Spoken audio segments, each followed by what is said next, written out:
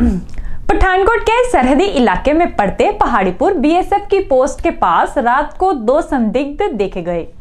जिसके चलते बीएसएफ ने सात राउंड फायर भी किए और इसके बाद पुलिस व बीएसएफ की ने संयुक्त रूप से सर्च अभियान भी चलाया। संदिग्धों की तस्वीरें भी पोस्ट पर लगे सीसीटीवी कैमरे में कैद हुई हैं। फ़िलहाल अभी तक कुछ भी सामने नहीं आया है।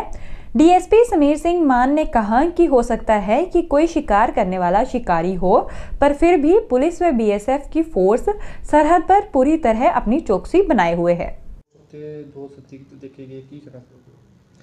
ਜੀ ਕੱਲ ਤਕਰੀਬਨ ਸ਼ਾਮ 7 ਤੇ 8 ਦੇ ਵਿੱਚ ਜਿਹੜੀ ਪਹਾੜੂ ਪਹਾੜੀਪੁਰ ਕੰਪਨੀ ਬੀਐਸਐਫ ਦੀ ਹੈ ਉਹਦੇ ਸਾਹਮਣੇ ਪਾਕਿਸਤਾਨ ਦੇ ਏਰੀਏ ਦੇ ਵਿੱਚ ਉਜ ਰਿਵਰ ਦੇ ਨਾਲ ਜਿਹੜੀ ਦੋ ਸ਼ੱਕੀ ਬੰਦਿਆਂ ਦੀ ਜਿਹੜੀ ਮੂਵਮੈਂਟ ਨੋਟਿਸ ਕੀਤੀ ਗਈ ਉਸ ਦੇ ਬਾਅਦ ਬੀ ਐੱਸ ਐੱਫ ਨੇ ਜਵਾਬੀ ਕਾਰਵਾਈ ਕਰਦੇ ਹੋਏ ਤਕਰੀਬਨ ਸੱਤ ਰੌਂਦ ਜਿਹੜੀ ਉਹ ਸ਼ੱਕੀ ਮੂਵਮੈਂਟ ਤੇ ਫਾਇਰ ਕੀਤੇ ਅਤੇ ਉਹਦੇ ਬਾਅਦ ਨਾਈਟ 'ਚ ਵੀ ਜੁਆਇੰਟ ਸਰਚ ਹੋਈ, ਦਿਨੇ ਵੀ ਅਤੇ ਬਾਅਦ ਦੁਪਹਿਰ ਵੀ ਜਿਹੜੀ ਹੈ ਜੁਆਇੰਟ ਸਰਚ ਪੁਲਿਸ ਅਤੇ ਬੀ ਐੱਸ ਐੱਫ ਵੱਲੋਂ ਕੀਤੀ ਗਈ ਉਸ ਏਰੀਏ 'ਚ ਜਿਸ 'ਚ ਆਪਾਂ ਨੂੰ ਕੋਈ ਜਿਹੜੀ ਸ਼ੱਕੀ ਚੀਜ਼ ਨਹੀਂ ਮਿਲੀ ਅਤੇ ਜਿਹੜੀ ਇਹ ਮੂਵਮੈਂਟ ਹੈ ਬੇਸਿਕਲੀ ਇਹ ਪਾਕਿਸਤਾਨ ਦੇ ਏਰੀਏ 'ਚ ਹੋਈ ਸੀ ਅਤੇ ਉਜ ਦੇ ਨਾਲ ਹੋਈ ਸੀ ਅਤੇ ਇਹਦੇ ਬਾਰੇ ਜਿਹੜਾ